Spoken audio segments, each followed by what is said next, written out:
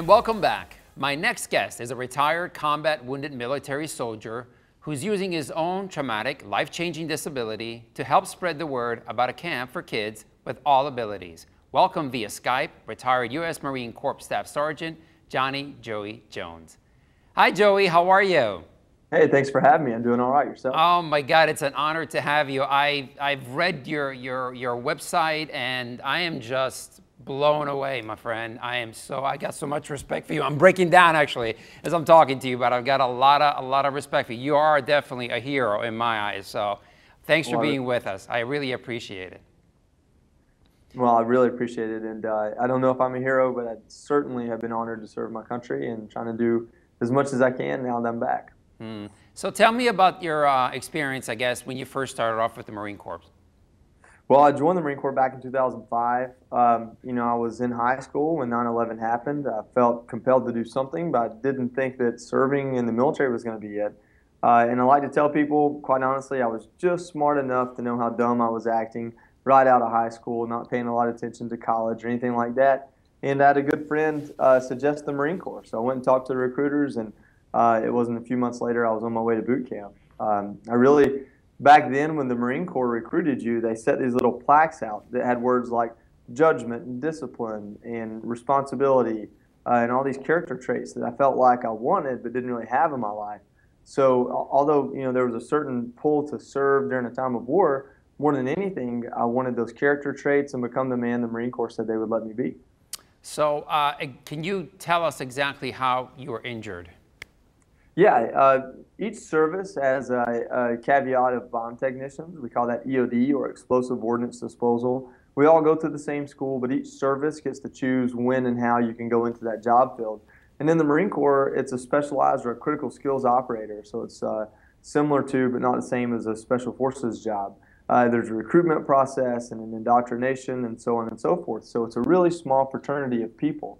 Um, I was lucky enough after a few years in the Marine Corps and having already deployed to Iraq in 2007 and 8 to find my way into that job field, go to the school, and then deploy in 2010 as a team leader. Uh, and during that deployment, we had a lot going on in Afghanistan. Um, I worked about uh, 80 IEDs total during that deployment, or, or roadside bombs, as people uh, call them. Right. But quite honestly, what happened for me, uh, we were taking a town full of bad things and bad people. We knew that there were a lot of IED or bomb components there. Mm. There were only six of us EOD techs and about 200 Marines. And after five days of fighting to take the town um, and rendering safe about 39 IEDs, uh, the sixth morning we woke up, started to clear a building that we knew was going to be tough. Right. And uh, subsequently, I stepped on or initiated a victim operated IED or a bomb in the ground, and uh, and that's Amazing. how I lost so, my legs.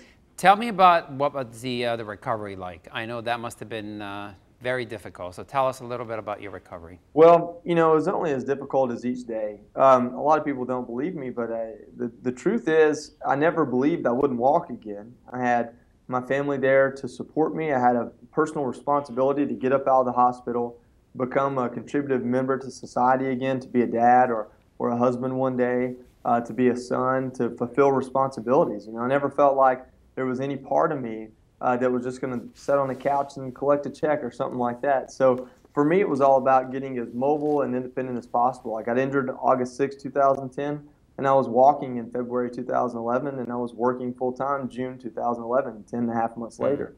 Um, and I contribute a lot of that to the people that were there to support me. And the medical staff there at Walter Reed who dedicated every minute of their day, of course, um, whatever course. I needed.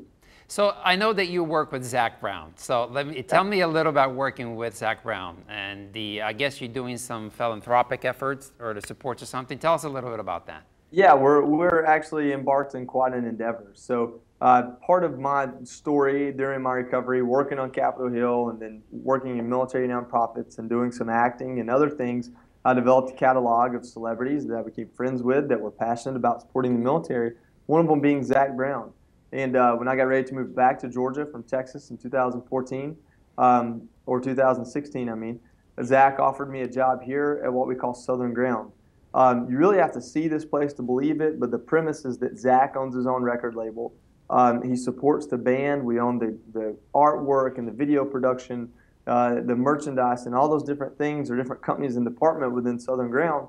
And from that, we've been able to create what we call Camp Southern Ground, which is a 400 acre piece of property that Zac purchased himself, uh, signed over to the camp. And since then, we've invested tens of millions of dollars to create a state of the art camp that three and a half to four months out of the year is a place for kids to go and grow and learn and be challenged and find things they're good at and learn not only how important they are to the world, but how important their fellow campers are. Uh, and during that time, we'll, we'll do a focus with kids in the autism spectrum. Uh, and so what that means is that not necessarily all kids diagnosed with autism, but the different disorders that fall in that spectrum uh, that can go away for a weekend mm. that we can bring in, and whether it's through music or our ropes course or something like that, pull right. out. Yes. Right. So listen, Joey, we got about a minute left or so. I want to get over. I want to uh, ask you about this. Uh, get up, get over it, and, and, get going real quickly. What does that mean to you? Tell us. Well, that's how I got through my recovery. That's my personal mantra. Uh-huh. And uh, basically, what that means is that everybody has something they get up for in the morning. It might be their family, something that's important to them. And during that time, they have something they have to get over. There's always obstacles in front of you. You just have to get over them. And then something that gets you going, something that gets you excited and energetic. And you have those three elements in your life. And if you can weigh those evenly, uh, apply the right amount of time to each one to really see how important and beautiful this life is, I think it'll help you get going every day. That's right. That's great. Listen, Joey, it's been an honor. It's been a pleasure. Lots of luck to you. And please let me know if there's anything I can do for you. Let me know. It'll be a pleasure. Well, thanks for letting me come on. I really appreciate it. And thanks for all the kind words. All right. Take care. Okay, guys, still ahead. We're breaking down everything you need to know about wine. Stay tuned. Yeah. See,